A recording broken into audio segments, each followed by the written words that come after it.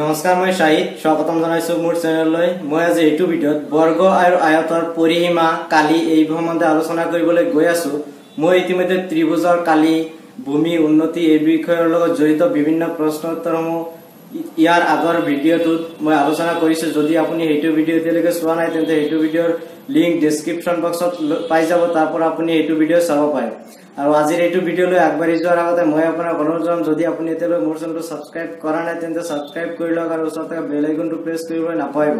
কাৰণ মই আগলৈ ইয়াতকৈ আৰু ভাল ভাল ভিডিঅ'বোৰ লৈ আহিম যিবোৰ ভিডিঅ' আপোনাৰ টেট এক্সামৰ কাৰণে যথেষ্ট গুৰুত্বপূৰ্ণ হ'ব। গতিকে তেনেকুৱা সকলোবোৰ ভিডিঅ'ৰ নটিফিকেশ্যন পাই যাবলৈ চেনেলটো ছাবস্ক্ৰাইব কৰি বেল আইকনটো প্ৰেছ কৰি ৰাখিব। আৰু যিসকল বন্ধুৱে মোৰ চেনেলটো ইতিমধ্যে ছাবস্ক্ৰাইব কৰি ৰাখিছে সিহঁতক মোৰ ফালৰ পৰা বহুত বহুত ধন্যবাদ থাকিল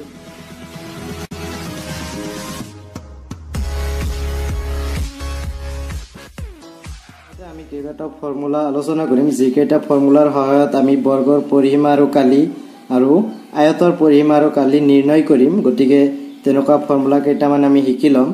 বৰ্গৰ পৰিসীমাৰ ফৰ্মুলা হ'ল ফ'ৰ এ অৰ্থাৎ এ হ'ল এটা বাহুৰ দিশ অৰ্থাৎ বৰ্গ এটা থাকিব বৰ্গৰ এটা বাহুৰ দিশ দিয়া থাকিব এটা বাহুৰ দিশ যিমান দিয়া থাকিব তাৰ লগত ফ'ৰ পূৰণ কৰিলে সেইটো হ'ব বৰ্গৰ পৰিসীমা আৰু এককটো হ'ব মিটাৰ বা চেণ্টিমিটাৰ বা ইয়াতকৈ ডাঙৰ এককো হ'ব পাৰে সাধাৰণতে মিটাৰ আৰু চেণ্টিমিটাৰেই হয় গতিকে বৰ্গৰ পৰিসীমাৰ মই এককটো মিটাৰ বা চেণ্টিমিটাৰ বুলিয়ে কৈ দিছোঁ। আৰু বৰ্গৰ কালি বৰ্গৰ কালি হ'ল এ স্কুৱেৰ য'ত এ হ'ল এটা বাহুৰ দিশ অৰ্থাৎ বৰ্গ এটা বাহুৰ দিশ দিয়া থাকিলে তাক স্কুৱেৰ কৰিলে যিমান হ'ব তাক কোৱা হ'ব বৰ্গৰ কালি। আৰু কালিৰ এককটো হ'ব বৰ্গ চেণ্টিমিটাৰ বা বৰ্গ মিটাৰ। ইয়াতো মিটাৰ চেণ্টিমিটাৰকৈ ডাঙৰ একক হ'ব পাৰে কিন্তু সাধাৰণতে চেণ্টিমিটাৰ আৰু মিটাৰ হয়। গতিকে কালি হ'লে স্কুৱেৰ চেণ্টিমিটাৰ বা স্কুৱেৰ মিটাৰ যাক অসমীয়াত ক'লে বৰ্গ মিটাৰ বা বৰ্গ চেণ্টিমিটাৰ বুলি কোৱা হয়। আৰু বৰ্গৰ পৰিসীমাটো কেৱল চেণ্টিমিটাৰ বা কেৱল মিটাৰ হ'ব। ইয়াৰ পিছত আহিছো আয়তৰ পৰিসীমা। আয়তৰ পৰিসীমাৰ ফৰ্মুলা হ'ল two whole into L plus B য'ত এল হ'ল দৈৰ্ঘ্য আৰু বি হ'ল প্ৰস্থ। অৰ্থাৎ আয়তৰ পৰিসীমা উলিয়াবলৈ আমি আয়তৰ দিগৰ লগত আয়তৰ প্ৰস্থ যোগ কৰিম। অৰ্থাৎ যিমানখিনি আয়তৰ দিগ দিয়া থাকিব আৰু যিমানখিনি প্ৰস্থ দিয়া থাকিব এই দুটা যোগ কৰি আমি দুইৰে পূৰণ কৰিম। দুইৰে পূৰণ কৰিলে যিমানখিনি হ'ব সেইটোৱে হ'ব আয়তটোৰ পৰিসীমা।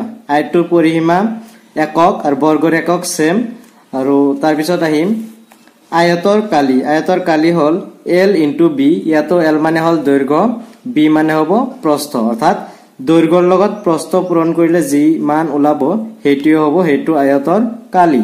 আৰু আয়তৰ কালিৰো একক বৰ্গৰ কালিৰ নিচিনা একেই হ'ব।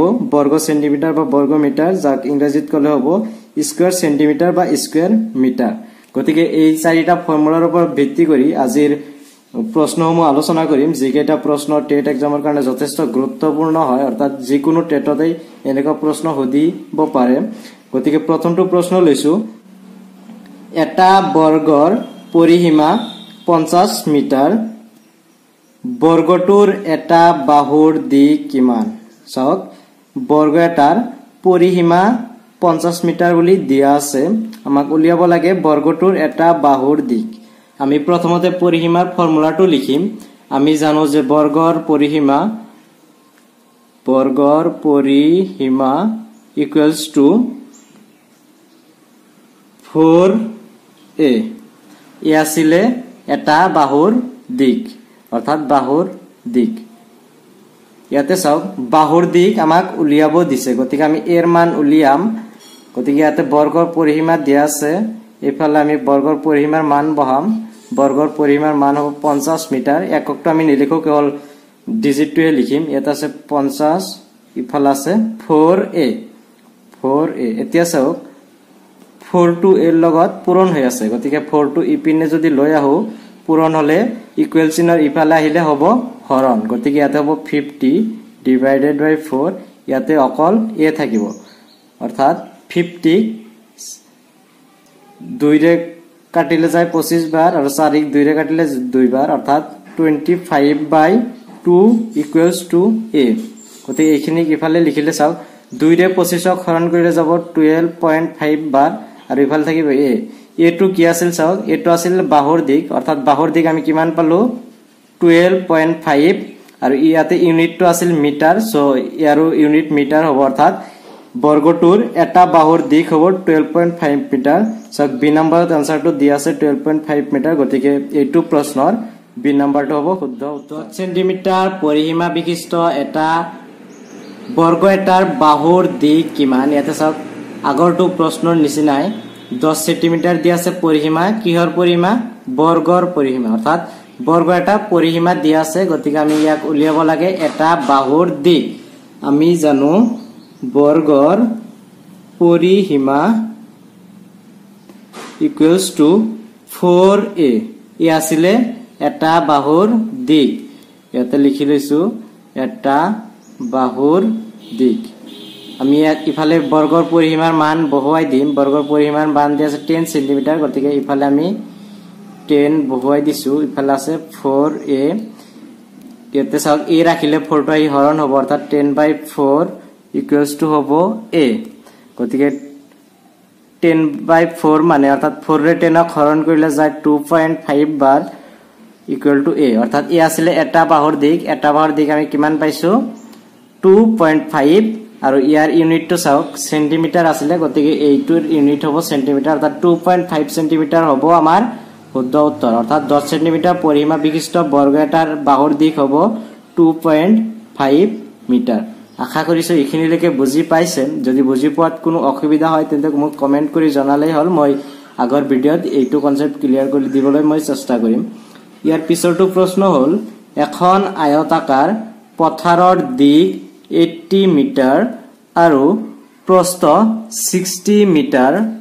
পথাৰখনৰ চাৰিওফালে তিনি পাক দিবলৈ কিমান তাৰ লাগিব? অৰ্থাৎ কৈছে যে এখন পথাৰৰ দিশ আছে এইটটি মিটাৰ। আৰু প্ৰস্থ আছে ছিক্সটি মিটাৰ। চাওক দিশ আৰু প্ৰস্থ বেলেগে বেলেগ দিয়া আছে। আৰু এইটো কোৱা হৈছে আয়তাকাৰ অৰ্থাৎ আয়তৰ নিচিনা হ'ব। গতিকে মই ইয়াতে সৰুকে এটা আঁকি লৈছো। এইখিনি আমি ধৰি লৈছো এইটটি এইটটি মিটাৰ এইখিনি ধৰিছিলো ছিক্সটি মিটাৰ। গতিকে পথাৰখনৰ চাৰিওফালে তিনি পাক দিবলৈ কিমান তাৰ লাগিব? অৰ্থাৎ কৈছে যে এইটো পথাৰৰ চাৰিওপিনে আমি তাৰেৰে তিনিবাৰ মেৰিয়াবলৈ কিমান তাৰ লাগিব? চাওক তিনিবাৰ মেৰিয়াবলৈ হলে আমি ইয়াৰ চাৰিওপিনে যাব লাগিব। আৰু চাৰিওপিনে যাওঁতে চাৰিওপিনৰ দিশ যিমান হ'ব সিমানখিনি তাৰ আমাৰ প্ৰথম পাকত লাগিব। অৰ্থাৎ তিনি পাক দিবলৈ এই প্ৰথম পাকত যিমান লাগিব তাৰ লগত তিনি পূৰণ কৰিলেই হৈ যাব। গতিকে প্ৰথম পাকত যিমান তাৰ প্ৰয়োজন হ'ব সেইখিনি উলিয়াবলৈ আমি এইটো আয়তাকাৰ পথাৰৰ পৰিসীমা উলিয়াব লাগিব। অৰ্থাৎ আয়তাকাৰ পথাৰৰ পৰিসীমা আমি জানো ফৰ্মুলাটো আছিলে two whole into L plus B. গতিকে ইয়াতে চাওক টু আহিব। এলৰ ঠাইত আছে এইটটি মিটাৰ অৰ্থাৎ লেন্থ দি আছে এইটটি মিটাৰ আৰু প্ৰস্থ দি আছে ছিক্সটি মিটাৰ। গতিকে এই দুটা যোগ কৰি ইয়াৰ লগত আমি দুইটা পূৰণ কৰিম। গতিকে চাওক টু হোল ইনটু এইটো এইটটি প্লাছ ছিক্সটি হ'ব ওৱান হাণ্ড্ৰেড ফৰ্টি গতিকে টুৰে ইয়াক পূৰণ কৰিলে হ'ব টু হাণ্ড্ৰেড এইটটি আৰু ইয়াৰ ইউনিটটো হ'ব মিটাৰ গতিকে টু হাণ্ড্ৰেড এইটটি মিটাৰ। এতিয়া চাওক টু হাণ্ড্ৰেড এইটটি অৰ্থাৎ পৰিসীমা এইখিনি তাৰ আমাক এক পাক দিবলৈয়ে প্ৰয়োজন হ'ব। কিন্তু ইয়াতে কৈছে তিনি পাক অৰ্থাৎ তিনিৰ লগত পৰিসীমা আমি পূৰণ কৰিব লাগিব। পৰিসীমা অৰ্থাৎ কাৰ পৰিসীমা? আয়তাকাৰ পথাৰৰ পৰিসীমা। গতিকে তিনি ইনটু পৰিসীমাৰ আমি উলিয়ালো টু হাণ্ড্ৰেড এইটটি গতিকে তিনিৰ লগত টু হাণ্ড্ৰেড এইটটি পূৰণ কৰিলে হ'ব তিনি শূন্য গুণ শূন্য তিনি আঠ গুণ চৌব্বিছ তিনি দুই গুণ ছয় আৰু দুই আঠ। গতিকে ইমানখিনি তাৰ অৰ্থাৎ ইয়াৰ ইউনিট হ'ব মিটাৰ গতিকে তিনি পাক দিবলৈ আঠশ চল্লিছ মিটাৰ তাৰৰ প্ৰয়োজন হ'ব। অৰ্থাৎ আয়তাকাৰ পথাৰৰ দিশ যদি এইটটি মিটাৰ আৰু ছিক্সটি প্ৰস্থ ছিক্সটি মিটাৰ হয় তেন্তে সেইখন পথাৰৰ চাৰিওফালে তিনি পাক দিবলৈ মুঠতে আঠশ চল্লিছ মিটাৰ তাৰৰ প্ৰয়োজন হ'ব। অৰ্থাৎ এনচাৰটো হ'ব এ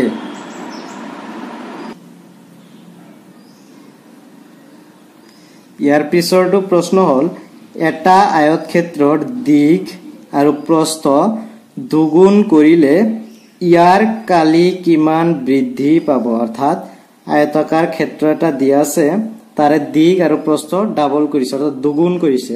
প্ৰথমতে আমি ধৰি ল'ম যে এইটো এটা আয়ত আছে।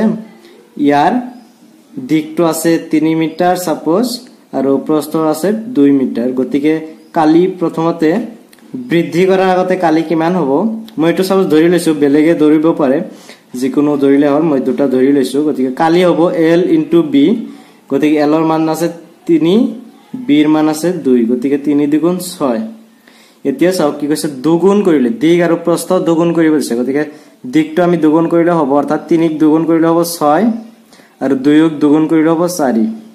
অৰ্থাৎ নতুন কালি হ'ব নতুন কালি ইকুৱেলছ টু আকৌ এল ইনটু বি এলৰ মান এতিয়া চাওক ছয় হৈ গৈছে কাৰণ তিনিক দুগুণ কৰিছোঁ তিনিক দুগুণ কৰিলে হয় ছয় আৰু বি বি আছিলে প্ৰস্থ প্ৰস্থ আগত আছিলে দুই গতিকে দুগুণ কৰি আমি পাইছোঁ চাৰি গতিকে চাৰি ইয়াতে পূৰণ কৰিম। ছয় চাৰি গুণ চৌব্বিছ। এতিয়া চাওক কিমানখিনি বৃদ্ধি পাইছে? অৰ্থাৎ আগত আছিলে ছয় গতিকে ছয়ৰে চৌব্বিছক আমি হৰণ কৰিম। চৌব্বিছক আমি ছয়ৰে হৰণ কৰিলে যায় ছয় চাৰি গুণ চৌব্বিছ অৰ্থাৎ চাৰি গুণ বৃদ্ধি পাব। এইটো বেলেগেও কৰিব পাৰি। আমি যদি প্ৰথমতে এনেকে ধৰি লওঁ যে প্ৰথমতে দিশ আছিল এল আৰু প্ৰস্থ আছিল বি গতিকে কালি হ'ব এল ইনটু বি। কিন্তু যদি এলক দুগুণ কৰোঁ তেন্তে হ'ব টু এল বিক দুগুণ কৰিলে হ'ব টু বি গতিকে নতুন কালি হ'ব এই দুটা পূৰণ two L into two B গতিকে এইটো ইকুৱেল টু হ'ব চাওক দুই দুগুণে চাৰি L into B L into B অৰ্থাৎ এইটো চাৰি গুণ বৃদ্ধি পাইছে। এনেকে কৰিব পাৰি বা এইটো প্ৰথমতে যিমান হ'ব আৰু তাৰ পিছত যিমান হ'ব প্ৰথম প্ৰথমৰ খিনিৰে শেষৰ খিনিক হৰণ কৰিলে যিমান হ'ব সেইটোৱে হ'ব বৃদ্ধিৰ পৰিমাণ। এই ক্ষেত্ৰতো চাৰি ওলাইছে এই ক্ষেত্ৰতো চাৰি ওলাইছে। গতিকে বৃদ্ধি হ'ব চাৰি গুণ। অৰ্থাৎ এইটো প্ৰশ্নৰ শুদ্ধ উত্তৰ হ'ব এ। ইয়াৰ পিছৰটো প্ৰশ্ন হ'ল এটা বৰ্গৰ বাহুৰ দিশ দুগুণ বৃদ্ধি কৰিলে ইয়াৰ কালি কিমান গুণ বৃদ্ধি পাব? এটা চাওক এটা বৰ্গ চাপ'জ দিয়া আছে এইটোৰ দিশ দিয়া আছিলে দুই। অৰ্থাৎ টু মিটাৰ দি আছিলে। তাৰপিছত কৈছে ইয়াৰ কালি যদি প্ৰথমতে দুই হয় এই দুইক আগত দুগুণ বৃদ্ধি কৰিলে নতুন কালি কিমান হ'ব? প্ৰথম ক্ষেত্ৰত চাওক আমি কালি উলিয়াম। প্ৰথম ক্ষেত্ৰৰ কালি আছিলে কিমান? দুই যদি হয় আমি কালিৰ ফৰ্মুলা জানো। এ স্কুৱেৰ অৰ্থাৎ টু স্কুৱেৰ হ'ব। টু স্কুৱেৰ মানে ফ'ৰ আৰু ইয়াতে মিটাৰ বুলি ধৰিছোঁ গতিকে একক হ'ব মিটাৰ স্কুৱেৰ গতিকে চাওক প্ৰথম ক্ষেত্ৰত কালি কিমান আছিলে? ফ'ৰ মিটাৰ স্কুৱেৰ আকৌ দ্বিতীয় ক্ষেত্ৰত চাওক দুগুণ কৰিছোঁ দুইক দুগুণ কৰিলে হ'ব চাৰি দুইক দুগুণ কৰিলে হ'ব চাৰি গতিকে চাৰি মিটাৰ হ'ব। গতিকে দ্বিতীয় ক্ষেত্ৰত কালি কিমান হ'ব? আকৌ ফৰ্মুলা হ'ব এ স্কুৱেৰ এৰ মান হ'ব চাওক আগতে দুই আছিল দুগুণ কৰিলে চাৰি পাইছোঁ গতিকে ইয়াতে হ'ব four square equals to sixteen আৰু এককটো আছিল মিটাৰ গতিকে কালিৰ একক হ'ব মিটাৰ স্কুৱেৰ এতিয়া চাওক প্ৰথম অৱস্থাত কালি আছিলে চাৰি মিটাৰ স্কুৱেৰ আৰু দ্বিতীয় ক্ষেত্ৰত আমি কালি কিমান পালোঁ? ছিক্সটিন মিটাৰ স্কুৱেৰ গতিকে ছিক্সটিনক আমি এই প্ৰথম ক্ষেত্ৰখিনিৰে হৰণ কৰিম। হৰণ কৰিলে যিমান হ'ব এইটো হ'ব শুদ্ধ উত্তৰ। গতিকে চাৰিৰে আমি ছিক্সটিনক হৰণ কৰিলে চাৰি পাওঁ। অৰ্থাৎ চাৰি গুণ বৃদ্ধি পাব। অৰ্থাৎ বি নাম্বাৰটো হ'ব আমাৰ এনচাৰ এইটো আমি আগৰ নিচিনাকৈ এইটো যদি ধৰি লওঁ যে ইয়াৰ মান এক্স দিয়া আছিলে এটা বাহৰ দিশ এক্স দিয়া আছিলে গতিকে প্ৰথম ক্ষেত্ৰত কালি হ'ব এ স্কুৱেৰ এৰ মান ঠাই হ'ব এক্স গতিকে এক্স স্কুৱেৰ প্ৰথম ক্ষেত্ৰত কালি হ'ল এক্স স্কুৱেৰ আৰু যদি আমি ইয়াক দুগুণ কৰোঁ দুগুণ কৰিলে হ'ব টু এক্স গতিকে টু এক্স বহুৱাই আমি কালি উলিয়ালে হ'ব এ স্কুৱেৰ আকৌ এ স্কুৱেৰ ঠাইত হ'ব টু এক্স হোল স্কুৱেৰ গতিকে টু স্কুৱেৰ কৰিলে হয় ফ'ৰ আৰু এক্স স্কুৱেৰক এক্স গতিকে আগত আছিল এক্স স্কুৱেৰ ইয়াতে চাওক এক্স স্কুৱেৰ আছিল গতিকে চাৰি গুণ বৃদ্ধি পাইছে। গতিকে এটা বৰ্গৰ বাহুৰ দিশ দুগুণ বৃদ্ধি কৰিলে ইয়াৰ কালি কিমান গুণ বৃদ্ধি হ'ব? গতিকে চাৰি গুণ বৃদ্ধি হ'ব। এনেকুৱা ধৰণৰ যদি অংক আহে আপুনি এক্স নধৰি কিবা এটা ধৰি ল'ব সেইটো ধৰি প্ৰথম অৱস্থাত কালি উলিয়াব আকৌ দুগুণ তিনি গুণ বা চাৰি গুণ যিমান কয় সিমান গুণ কৰি আকৌ কালি উলিয়াব আৰু প্ৰথম ক্ষেত্ৰৰ কালিখিনিৰে শেষৰটোক কালিৰে হৰণ কৰিলে যিমান হ'ব সেইটোৱে হ'ব আমাৰ শুদ্ধ উত্তৰ। গতিকে এইটো প্ৰশ্নৰ শুদ্ধ উত্তৰ হ'ব বি নাম্বাৰ চাৰি গুণ ইয়াৰ পিছৰটো প্ৰশ্ন হ'ল এটা আয়তৰ দিশ টুৱেণ্টি ফাইভ পাৰ্চেণ্ট বৃদ্ধি আৰু প্ৰস্থ টুৱেণ্টি ফাইভ পাৰ্চেণ্ট হ্ৰাস কৰিলে আয়তৰ কালি হ'ব। চাওক দিশ টুৱেণ্টি ফাইভ পাৰ্চেণ্ট বৃদ্ধি কৰিছে আৰু প্ৰস্থ টুৱেণ্টি ফাইভ পাৰ্চেণ্ট হ্ৰাস কৰিছে অৰ্থাৎ কম কৰিছে। তেন্তে আয়তৰ কালি কিমান হ'ব? ইয়াতে এই নম্বৰত দিছে কোনো পৰিৱৰ্তন নহয় অৰ্থাৎ প্ৰথমত যিমান আছিলে সিমানেই থাকিব। বি নম্বৰ যে ফাইভ পাৰ্চেণ্ট বৃদ্ধি হ'ব। অৰ্থাৎ আগত যিমান আছিল তাতকৈ পাঁচ গুণ বৃদ্ধি ফাইভ পাৰ্চেণ্ট বৃদ্ধি হ'ব। চি নম্বৰ যে six point two five percent হ্ৰাস হ'ব অৰ্থাৎ আগত যিমান আছিলে তাৰে পৰা ছয় দশমিক দুই পাঁচ শতাংশ কমি যাব আৰু ডি নম্বৰত ইয়াৰে এটাও নহয়। প্ৰথমত এইটো প্ৰশ্ন আমি কৰিবলৈ আমি ধৰি ল'ম দিক এল দিয়া আছিলে আৰু প্ৰস্থ বি দিয়া আছিলে। চাওক আয়তৰ কালি তেলে আয়তৰ কালি হ'ব। আয়তৰ কালি দিক পূৰণ প্ৰস্থ আছিলে আয়তৰ দিক পূৰণ প্ৰস্থ আমি এইখিনি জানো অৰ্থাৎ দিক আমি ধৰি লৈছো এল প্ৰস্থ বি গতিকে ইয়াৰ পূৰণ ফল হ'ব এল ইন্টু বি এইটো প্ৰথম অৱস্থাত আয়তৰ কালি এল ইন্টু বি আমি পালো।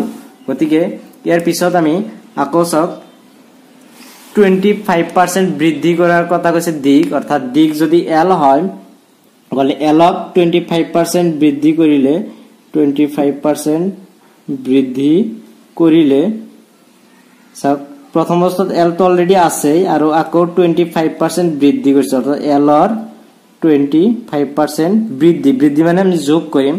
গতিকে চাওক ইয়াতে অলৰেডি এল এটা আছে আৰু ইফালে এলৰ টুৱেণ্টি ফাইভ পাৰ্চেণ্ট মানে L hall into twenty five by hundred ইয়াক ইকুৱেল কৰিলে হৈ যাব L plus twenty five L divided by hundred আৰু লহাগু ল'লে হ'ব hundred L plus twenty five L আৰু তলত হ'ব হাণ্ড্ৰেড অৰ্থাৎ এইটো ইকুৱেল কৰিলে হৈ যাব আমাৰ hundred and twenty five L divided by hundred অৰ্থাৎ এলক টুৱেণ্টি ফাইভ পাৰ্চেণ্ট বৃদ্ধি কৰিলে এলৰ মান হয় এইটো আকৌ একেদৰে আমি যদি বি অৰ্থাৎ প্ৰস্থক টুৱেণ্টি ফাইভ পাৰ্চেণ্ট হ্ৰাস কৰোঁ হ্ৰাস কৰিলে কি হ'ব? চাওক হ্ৰাস কৰিলে ইয়াতে আকৌ বৃদ্ধি কৰিছে মাইনাছ কৰিছিলোঁ আমি এই ক্ষেত্ৰত হ্ৰাস কৰিছোঁ। গতিকে মাইনাছ কৰিম। অৰ্থাৎ অলৰেডি বি এটা আছিলে তাৰ পৰা মাইনাছ কৰিম। বিৰ কিমান পাৰ্চেণ্ট টুৱেণ্টি ফাইভ পাৰ্চেণ্ট গতিকে বিৰ পৰা টুৱেণ্টি ফাইভ পাৰ্চেণ্ট মাইনাছ যাব। গতিকে বি অলৰেডি থাকিব। বিৰ পৰা বি টুৱেণ্টি ফাইভ পাৰ্চেণ্ট মানে ৰছে পূৰণ। টুৱেণ্টি ফাইভ পাৰ্চেণ্ট মানে আমি লিখিব পাৰোঁ। টুৱেণ্টি ফাইভ বাই হাণ্ড্ৰেড যিখিনি আমি অলৰেডি শতাংশৰ ঠাইত আলোচনা কৰিছোঁ বা ভগ্নাংশৰ ঠাইত আলোচনা কৰিছোঁ। গতিকে সেইটো ভিডিঅ' যদি চোৱা নাই তাতে চাই ল'ব। এতিয়া চাওক B minus B into twenty five অৰ্থাৎ twenty five B divided by hundred এতিয়া আমি আকৌ লখাগু ল'ম। লখাগু ল'লে হৈ যাব আমাৰ তলত আহিব হাণ্ড্ৰেড ওপৰত যাব hundred into B hundred B minus twenty five B গতিকে এইটো ইকুৱেল কৰিলে ওপৰত চাওক হাণ্ড্ৰেডৰ পৰা টুৱেণ্টি ফাইভ বি মাইনাছ কৰিলে হৈ যাব ছেভেণ্টি ফাইভ বি আৰু তলত আহি যাব হাণ্ড্ৰেড অৰ্থাৎ আমি নতুনকৈ বিক যদি টুৱেণ্টি ফাইভ পাৰ্চেণ্ট হ্ৰাস কৰোঁ এইটো পাওঁ আমাৰ প্ৰস্থ। গতিকে ইয়াৰ কালি উলিয়াম। কালি হ'ব দিক পূৰণ প্ৰস্থ। দিক নতুন দিক এইটো হ'ব আৰু প্ৰস্থ এইটো হ'ব। এই দুটা আমি পূৰণ কৰিম। গতিকে one twenty five L divided by hundred into অৰ্থাৎ এইটোৰ লগত এইটো পূৰণ কৰিবলৈ হ'ব seventy five B divided by hundred এই দুটাক পূৰণ কৰিলে হৈ যাব চাওক। পঁচিছৰে আমি হৰণ কৰিব পাৰোঁ। পঁচিছৰে এশ পঁচিছক হৰণ কৰিলে যায় পাঁচবাৰ। পঁচিছৰে এশ হৰণ কৰিলে যায় চাৰিবাৰ। আকৌ পঁচিছৰে এশ হৰণ কৰিলে যায় চাৰিবাৰ। ছেভেণ্টি ফাইভক হৰণ কৰিলে যায় তিনিবাৰ। ওপৰত থাকিব ফাইভ ইণ্টু থ্ৰী অৰ্থাৎ fifteen L into B L into B তলত আহি যাব চাৰি চাৰি গুণ ষোল্ল। অৰ্থাৎ এইটো ইকুৱেল কৰিলে হ'ব fifteen by sixteen L into B মানে এল বি এইটো পালোঁ আমি নতুন কালি। আৰু প্ৰথম ক্ষেত্ৰত কালি পাইছিলোঁ এল বি। গতিকে চাওক এইটো চাওক পোন্ধৰক যদি ছয়ৰে হৰণ কৰোঁ এইটোৰ ভেলু একতকৈ কম আহিব। অৰ্থাৎ আগৰ যিখিনি কালি আছিলে সেইটো বেছি হ'ব আৰু এইটো হ'ব কম। গতিকে আমি কিমান কম হয় এইটো উলিয়াম। এল বিৰ পৰা আমি fifteen by sixteen L B minus কৰিম। অৰ্থাৎ fifteen by sixteen L into B minus কৰিলে হৈ যাব আমাৰ ছিক্সটিন হ'ব। লখাগু গতিকে ছিক্সটিন এল বি হ'ব ইয়াতে মাইনাছ ফিফটিন এল বি ইয়াতে থাকিব। গতিকে ছিক্সটিন এল বিৰ পৰা ফিফটিন এল বি মাইনাছ কৰিলে হয় এল ইণ্টু বি তলত থাকিব ছিক্সটিন অৰ্থাৎ ইমানখিনি আমাৰ কালি কমি যাব। আৰু এইটোত ইয়াতে চাওক কুৱেশ্যনত দিছে শতাংশত দিছে গতিকে কোনো পৰিৱৰ্তন হয় পৰিৱৰ্তন আমি অলৰেডি পালোঁ যে এল বি বাই ছিক্সটিনখিনি পৰিৱৰ্তন হ'ব আৰু এইটো অলৰেডি হ্ৰাস হ'ব বুলিও গম পাইছো। গতিকে ইয়াত চাওক বৃদ্ধি আছে পৰিৱৰ্তন নহয় আছে এইটোৱে হ্ৰাস হ'ব। গতিকে এইটো আমাৰ শুদ্ধ উত্তৰ কিন্তু ছিক্স পইণ্ট টু ফাইভ কেনেকৈ উলিয়াম এই বিষয়ে আমি আলোচনা কৰি দিম। গতিকে চাওক পাৰ্চেণ্ট উলিয়াবলৈ হ'লে আমি তলত এশ বনাব লাগিব। গতিকে এল বি আছে আৰু তলত আছে ছিক্সটিন ইয়াতে এশ বনাবলৈ হ'লে হাণ্ড্ৰেড বাই ছিক্সটিন আমি পূৰণ কৰিম। কাৰণ ছিক্সটিন ছিক্সটিন কটা যাব তলত থাকিব এশ। আৰু এইখিনি হাণ্ড্ৰেড বাই ছিক্সটিন যে ইয়াতে পূৰণ কৰিলো এইটো ওপৰতো পূৰণ কৰিব লাগিব। এতিয়া চাওক ছিক্সটিন ছিক্সটিনক কাটিব পাৰি। ওপৰত থাকিব ছিক্সটিন বাই হাণ্ড্ৰেড অৰ্থাৎ এইখিনি মান হ'ব ছিক্স পইণ্ট টু ফাইভ অৰ্থাৎ six point two five into L B six point two five L B আৰু ইয়াতে থাকিব হাণ্ড্ৰেড গতিকে এইটো যদি শতাংশত লিখো গতিকে হাণ্ড্ৰেডক শতাংশত লিখিব পাৰি।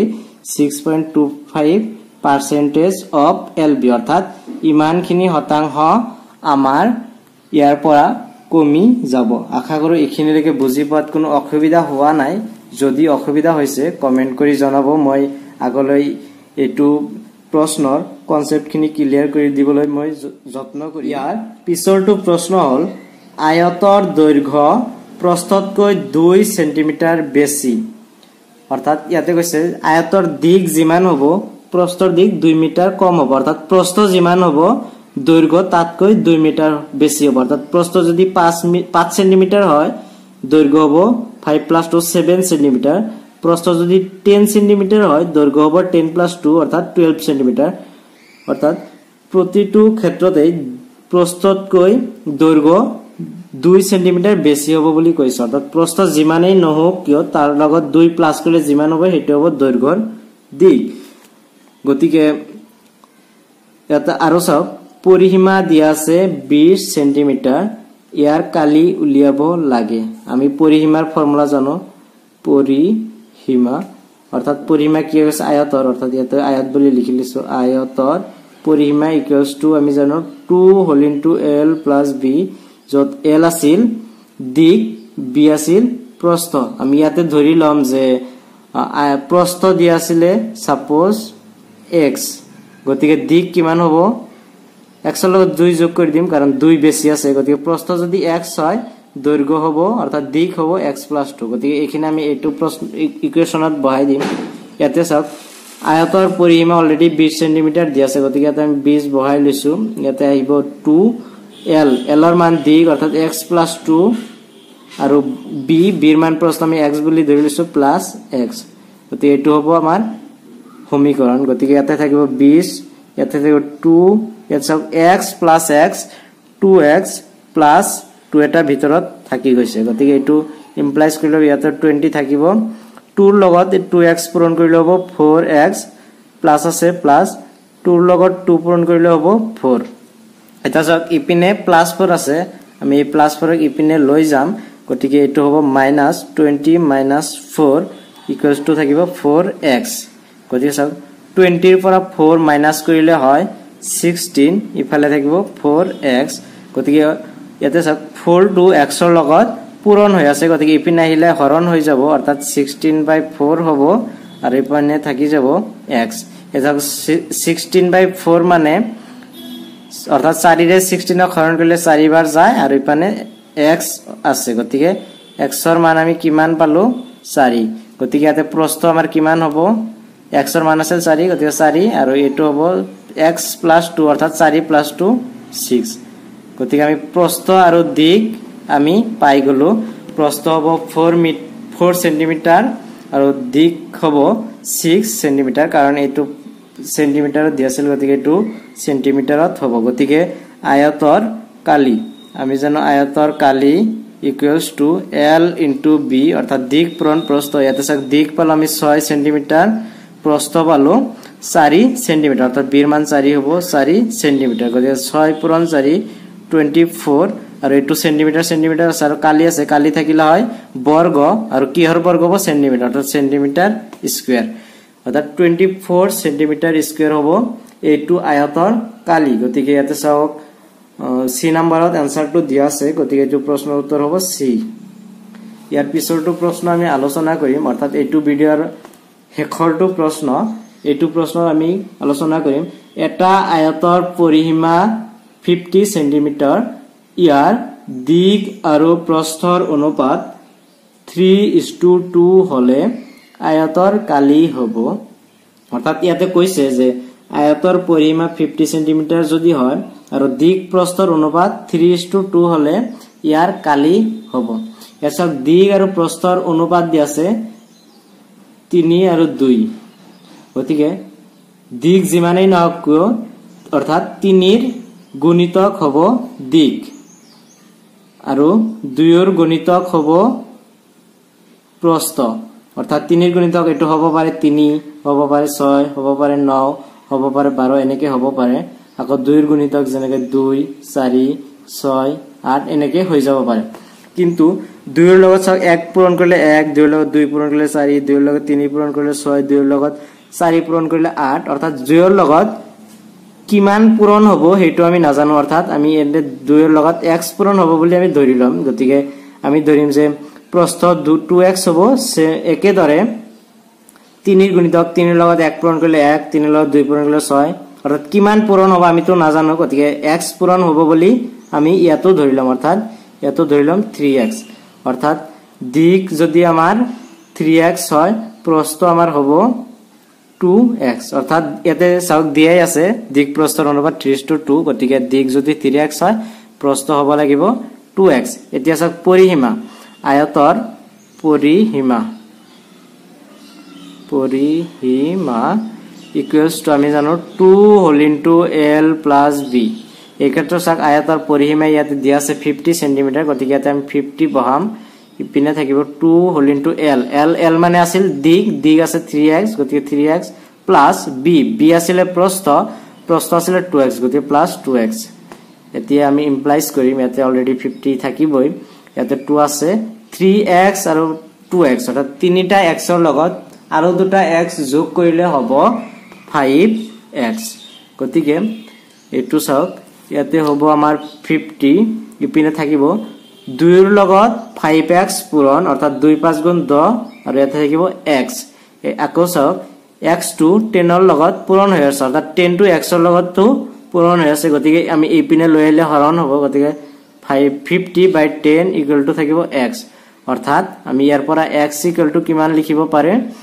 দহ দহেৰে পঞ্চাছক হৰণ কৰিলে দহেৰে পঞ্চাছক হৰণ কৰিলে হয় পাঁচ অৰ্থাৎ এক্সৰ মান হ'ব পাঁচ। গতিকে আমি ইয়াতে থ্ৰী এক্স দিগ আছিল থ্ৰী এক্স অৰ্থাৎ তিনিৰ লগত পাঁচ পূৰণ হ'ব। গতিকে তিনি পাঁচ গুণ হ'ব পোন্ধৰ আৰু ইয়াত চাওক চেণ্টিমিটাৰ দিয়া আছিলে গতিকে এইটোৰ একক হ'ব চেণ্টিমিটাৰ আকৌ প্ৰস্থ প্ৰস্থ আছিলে টু এক্স টু টুটো থাকিবই তাৰ লগত এক্স ইকুৱেল টু ফাইভ আছিল গতিকে two into five equal to ten centimetre আমি দিগ আৰু প্ৰস্থ পাই গৈছোঁ। এতিয়া আমি এইটো আয়তৰ কালি উলিয়াম। ইয়াত ইকুৱেল টু দিগ পূৰণ প্ৰস্থ। অৰ্থাৎ এল ইণ্টু বি এলৰ মান আমি দিগ পাই গ'লোঁ ফিফটিন আৰু বিৰ মান অৰ্থাৎ প্ৰস্থৰ মান পাইছোঁ ten fifteen into ten one hundred fifty আৰু কালি একক হ'ব বৰ্গ কিন্তু ইয়াতে চাওক গোটেইকেইটা চেণ্টিমিটাৰত দিয়া আছে গতিকে এইটো হ'ব চেণ্টিমিটাৰ বৰ্গ চেণ্টিমিটাৰ অৰ্থাৎ এইটো আয়তৰ কালি হ'ব ফিফটি বৰ্গ চেণ্টি ওৱান ফিফটি বৰ্গ চেণ্টিমিটাৰ অৰ্থাৎ ডেৰশ বৰ্গ চেণ্টিমিটাৰ চাওক ডেৰশ বৰ্গ চেণ্টিমিটাৰ এই নাম্বাৰত দিয়া আছে গতিকে এইটো প্ৰশ্নৰ উত্তৰ হ'ব এ নাম্বাৰ। আশা কৰোঁ এইখিনিলৈকে বুজি পাইছে। ভিডিঅ'টো শেষলৈ চোৱাৰ বাবে বহুত বহুত ধন্যবাদ। ভিডিঅ'টো কেনে লাগিল কমেণ্ট কৰি জনাওক। যদি ভাল লাগিছে লাইক কৰিব শ্বেয়াৰ কৰিব। আৰু মোৰ চেনেলটো অৱশ্যই ছাবস্ক্ৰাইব কৰি ৰখাৰ লগতে ওচৰত থকা বেল আইকনটো প্ৰেছ কৰি ৰাখিব যাতে মই আগলৈ আপলোড কৰা ভিডিঅ'বোৰৰ নটিফিকেশ্যন আপুনি তৎক্ষণাত পাই যায়। গতিকে আজিলৈ ইমানেই ধন্যবাদ।